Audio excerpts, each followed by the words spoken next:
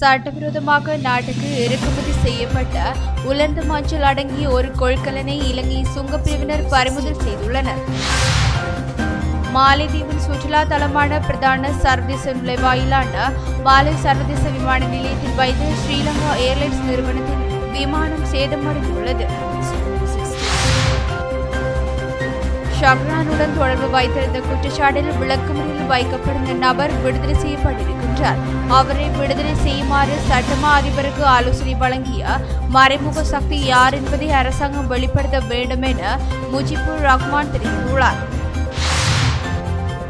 உள்நாட்டு அலுவலர்கள் அமைச்சினால் கல்முனை தமிழ் பிரதேச செயலகம் திறக்கப்பட்டு உப பிரதேச செயலகமாக ஆரம்பிக்கப்பட்டுள்ளதை ஏற்க முடியாது என தெரிவித்த தமிழ் தேசிய மக்கள் முன்னணி தலைவரும் ஜாழ் மாவட்ட எம்பியுமான கஜேந்திரகுமார் கொலம்பலம் தமிழ் மக்கள் இப்பிரதேசத்தில் வாழ்கின்ற காரணத்திலான இவ்வாறு பாகுபாடு பார்க்கப்படுகின்றது எனவும் கேள்வி எழுப்பியுள்ளார்